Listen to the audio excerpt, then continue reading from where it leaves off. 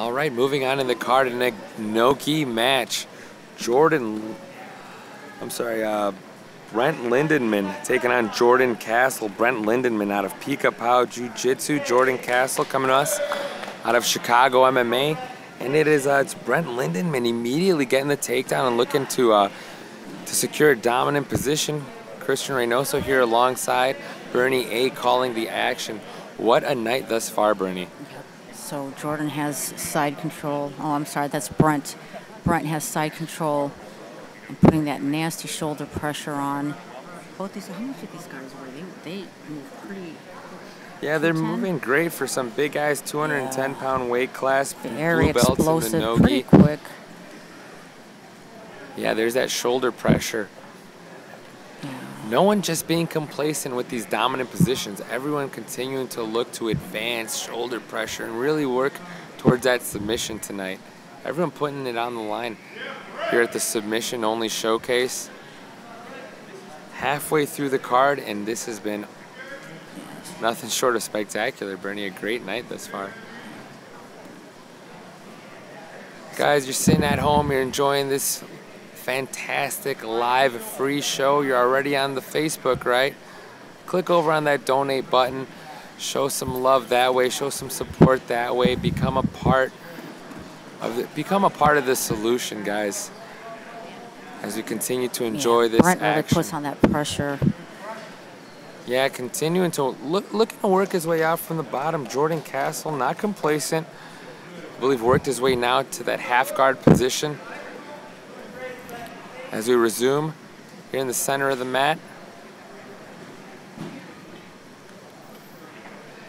And you know, I'll, these guys obviously coming to us in good shape by the pace that they've kept. Yeah. But with the bigger guys, you constantly have to wonder, as the match advances, is endurance going to become a factor, right? These guys are Brent out here. is very explosive They're and very explosive. constantly They're moving. moving very fast, Bernie.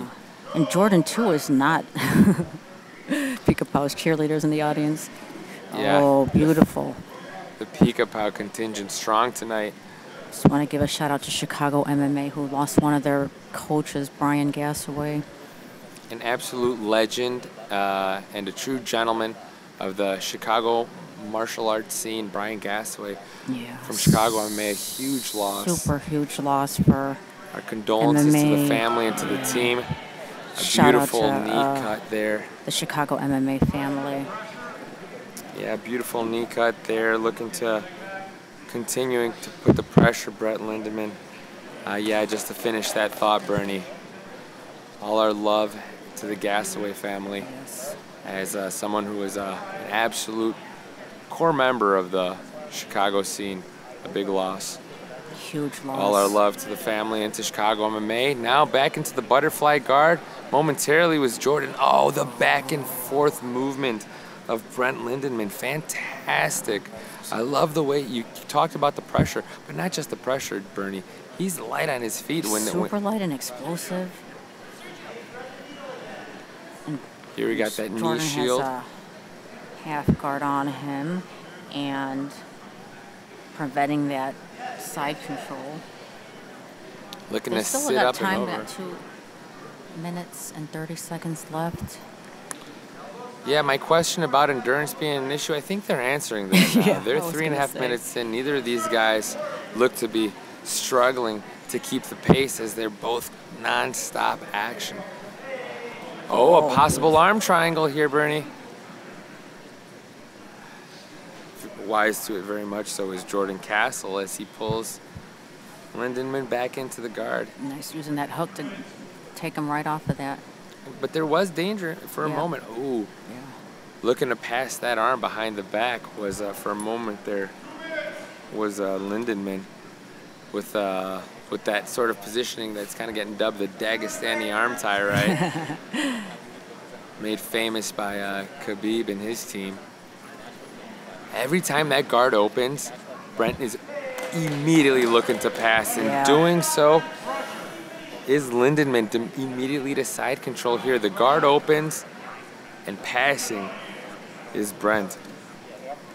Trying to catch that leg too.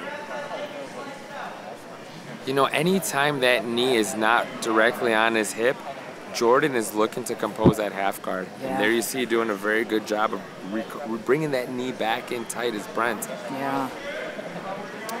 Uh, gonna oh. set up. Possible D'Arce setup here. Yep, he's got it in. Anytime you kind of come to your knees, you make that a possibility. One minute left. Spinning to the back. Spinning to the back momentarily, Lindenman. Jordan comes back to not complacent in the least. You know, I, I think it's fair to say that Brent's been pretty dominant positionally, but no give up tonight at all in Jordan Castle. 30 more seconds.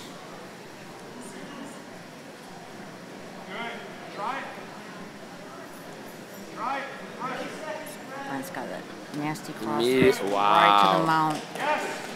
Well, if Gonna there's set ever up that arm triangle. Oh, 20 seconds. going for the finish, not looking to leave it in the hands of the judges, even in the as we wrap up a dominant match thus far, looking for the finish. So Jordan has his arm telephone, but sometimes that doesn't help anymore. He's got three seconds left. Answer doing the old school answering the phone technique is Jordan Castle. As time runs out, a great showing by both fighters, but it is uh, it's Brent Lindenman that just a marauder out there, constant pressure, attacking. Great match. Here we go. Your winner the red corner, Brett Lindenman.